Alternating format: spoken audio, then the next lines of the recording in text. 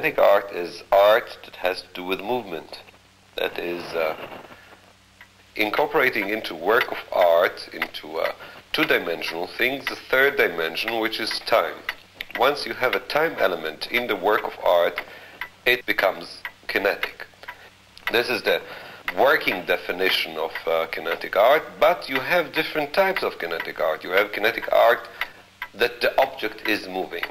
The other one you are having that you are moving too, like Agam, for example, who does a work and something happens to you that your eyes start to float around because of either the perceptual quality of the work itself or because you have to walk around the work and then you see it in different ways. So here you have a kinetic work of a certain degree that the work itself doesn't move, but you move in order to absorb it or perceive it from all sides.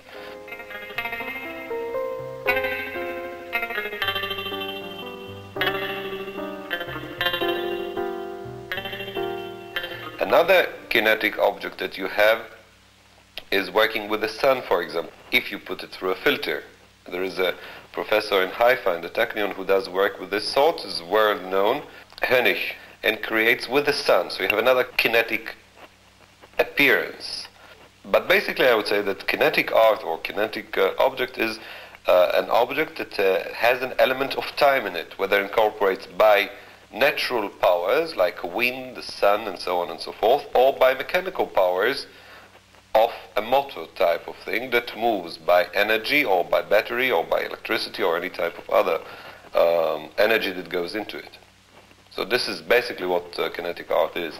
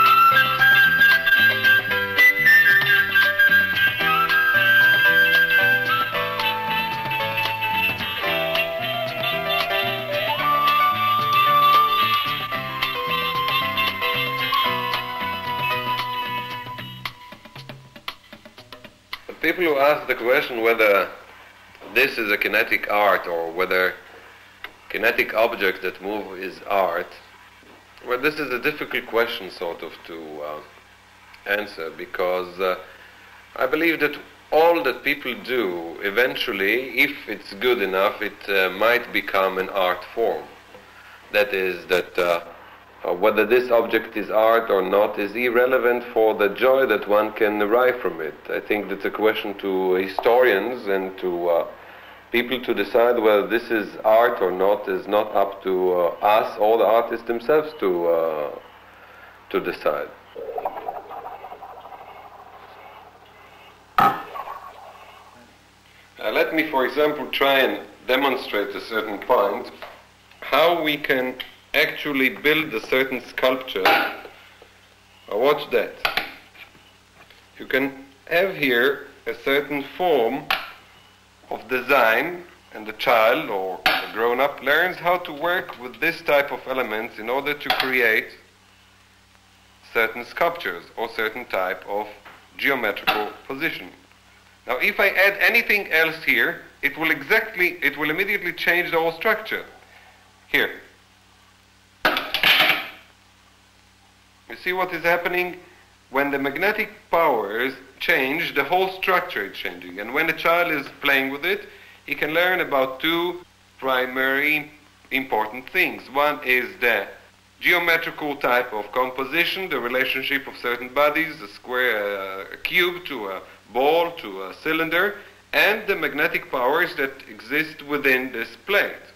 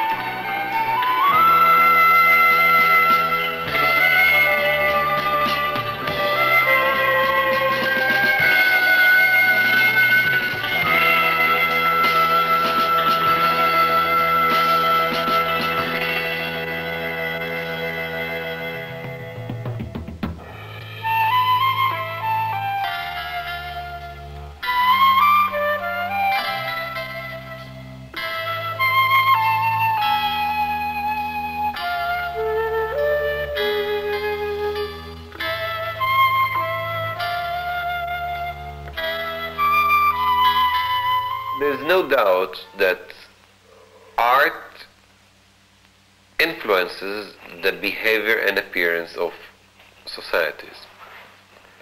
But again, it's not done in vacuum. It's somehow interrelated. People want to change. There is a certain need, especially of which we are aware today, that we like things to change. We are bored.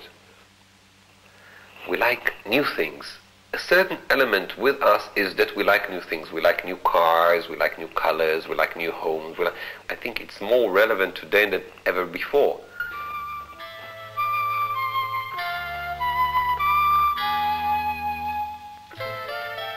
Art is also very much interested in perception, why people see the way they see and try to create new impression and new perceptions.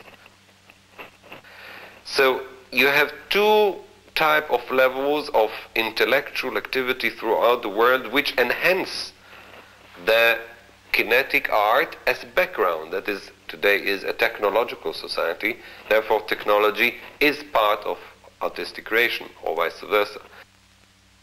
But if you take the intellectual part from the other side, which is the preoccupation with the problem of perception and looking at the world, you find out that these two things, one is perception, the other one is technology, are the primary factors which contribute to the kinetic art.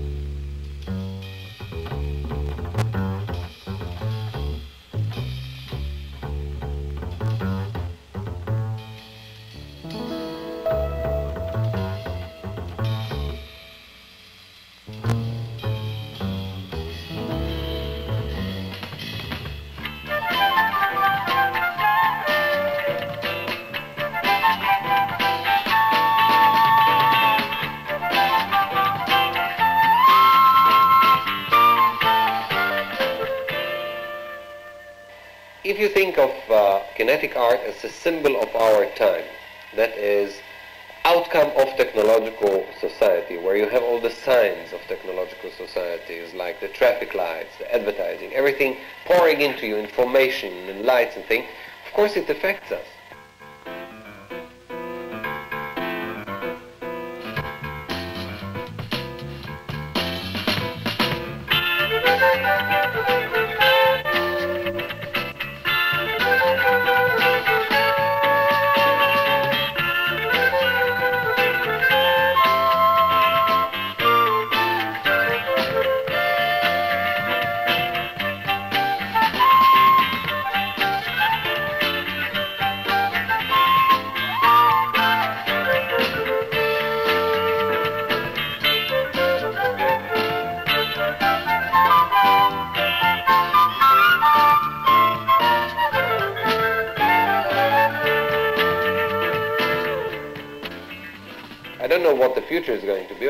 Going to change radically and incorporate more elements of sensations into it.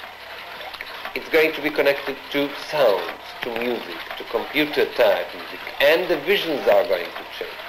And we are going finally to have a technological multimedia type of art.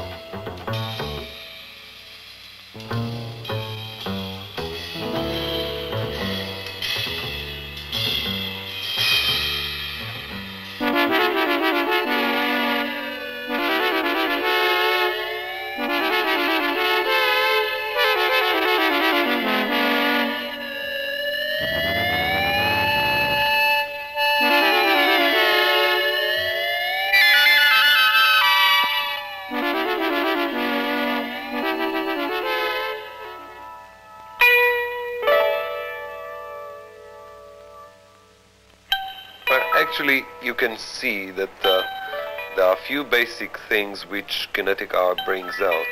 You have some works of art which uh, in many ways relaxes you, especially in a stressed world of uh, multi-signs, signs of traffic, noises of factories, uh, airplanes, uh, all the speed that's going on. On the other hand, you have works of art, kinetic art, which stimulate you. I think that uh, the best work of art or a good work of art is not the one which is only sublime or only stimulating or only new or novel, but I think the good work of art is one that would make you think, that would make you wonder, that would make one wonder as far as to what direction we are going now.